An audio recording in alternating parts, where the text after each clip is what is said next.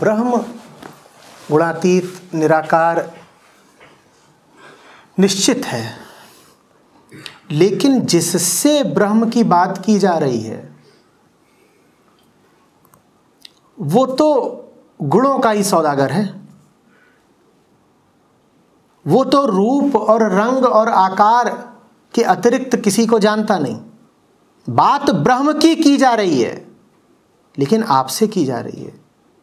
बात निराकार की की जा रही है, लेकिन साकार से की जा रही है। तो साकार को निराकार तक जाने का रास्ता भी बताना पड़ेगा ना? नहीं तो बड़ी विचित्र दुविधा है। जो साकार ही है और जिसकी पूरी दुनिया ही साकार है, उसको तुम बार बार बोल रहे हो, निराकार निराकार निराकार, वो कहेगा, निराकार का करूँ क्या? सत्य निराकार है, तुम क्या हो? साकार। अब साकार से मैं बार बार बोलूँ कि वो ऊपर परमात्मा निराकार है तो सर्क हो जाएगा और परेशान हो जाएगा। कहेगा, भाई जी, जितनी मैंने ज़िंदगी जानी है, उसमें तो मैंने जो जाना सब कुछ साकार ही है। ये आप किसकी बात कर रहे हो जो निराकार है? मैं उस तक कैसे पहुंचूं? कैसे उससे रिश्ता बनाऊँ? कैसे उसे पाऊँ? पूजा भी कैसे करूँ उसकी अगर वो निराकार है? तो साकार को बड़ी मुश्किल हो जाती है। उस मुश्किल के समाधान के लिए बड़ी सुंदर युक्ति निकाली गई है। शिव, विष्णु, वो खास मूर्तियाँ हैं। विधियाँ हैं, तरकीब है, पुल है, सीढ़ी है। बड़ी नायाब सीढ़ी है। ऐसी सीढ़ी जो साकार से शुरू होती है और उसका दूसरा सिरा बिल्कुल आकाश में है। ज़मीन को आसमान से मिलाने वाली सीढ़ी है वो। उनकी अभिकल्पना, उनकी रचना बड़े बोध से, बड़े ध्यान से हुई है। कि साकार व्यक्ति, साकार मन, जब इन साकार मूर्तियों पर ध्यान करेगा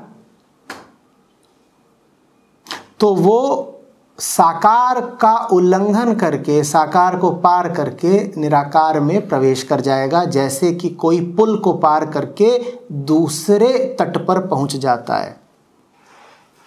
तो मूर्त इसलिए है ताकि तुम अमूर्त तक पहुँच सको। मूर्ति, मूर्त के लिए है। तुम्हारे लिए ज़रूरी है क्योंकि तुम्हें तो मूर्ति ही चाहिए।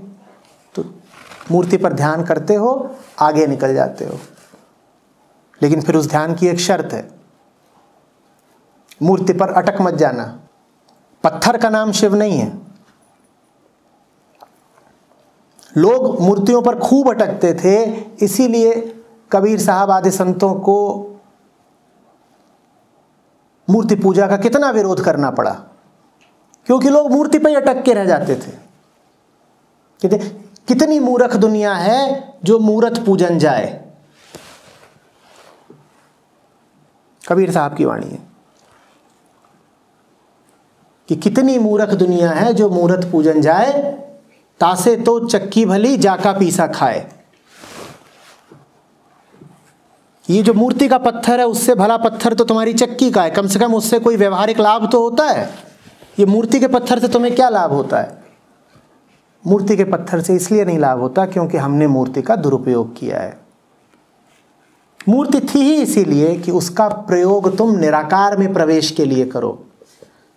लेकिन हम मूर्ति से ही चिपक कर रह गए। तब संतों को हमें याद दिलाना पड़ा कि मूर्ति पुल है और पुल पर घर नहीं बनाते, पुल को पार करते हैं।